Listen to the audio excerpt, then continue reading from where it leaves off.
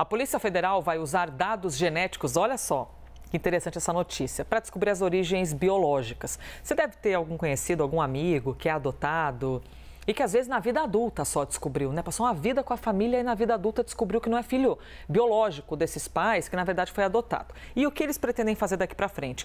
A Polícia Federal vai usar dados genéticos armazenados no Instituto Nacional de Criminalística para conseguir conectar essas pessoas, para encontrar famílias de pessoas que foram adotadas. Kleber Rodrigues é quem vai explicar para a gente como é que vai funcionar esse trabalho, porque tem gente, há pessoas, né, Kleber, que muitas vezes passam uma vida com essa missão de tentar encontrar. Eu quero saber quem é meu pai biológico, né? Quem é minha mãe biológica. Como é que vai funcionar isso, Kleber? E é um direito dessas pessoas, né, Elisa? É a tecnologia favorável, né, em benefício dessa busca que para muita gente é incessante, só acaba quando ela descobre de fato a origem biológica. Muito bom dia para você, Elisa. Uma ótima quarta-feira para quem acompanha a gente. Essa parceria, Elisa, ela foi dividida em dois eixos. O primeiro deles é para buscar pessoas que foram adotadas e que se mudaram do Brasil, como por exemplo, crianças que foram adotadas aqui e depois levadas ao exterior. O segundo eixo será por dados civis quando a própria pessoa realiza uma análise genealógica e depois disso os peritos cruzam os dados de quem está procurando e de quem está sendo procurado.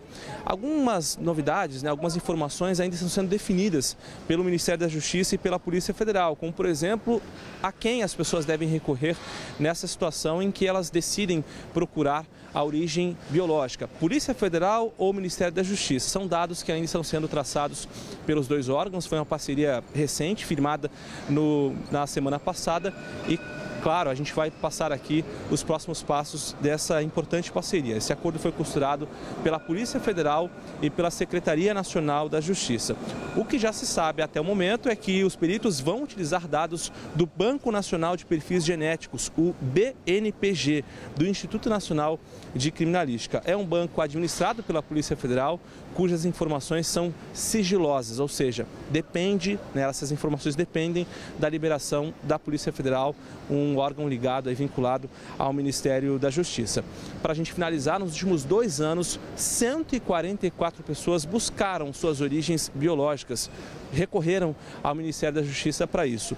Nove delas foram, foram casos bem-sucedidos, 31 casos encerraram sem o resultado, 18 pessoas desistiram de descobrir a sua origem biológica e 86 buscas ainda estão em andamento. No ano passado, esse banco, né, que eu acabei de citar agora, o Banco Nacional de Perfis Genéticos da Polícia Federal completou 10 anos. Ele foi instituído pela então presidente Dilma, isso há 10 anos atrás, principalmente para resolver casos é, sexuais, né, de crimes sexuais, mas agora está sendo utilizado também para que essas pessoas consigam descobrir a origem biológica. Muita gente foi adotada e quer saber quem é o pai, quem é a mãe, e a Polícia Federal e o Ministério da Justiça empenhados nessa causa aí, em busca de informações que são tão fundamentais para essas pessoas. Elisa totalmente fundamentais. Minha nossa, imagina você poder encontrar um pai, uma mãe. Há quem descubra, muito obrigada, Kleber Rodrigues. A gente precisa ter esse olhar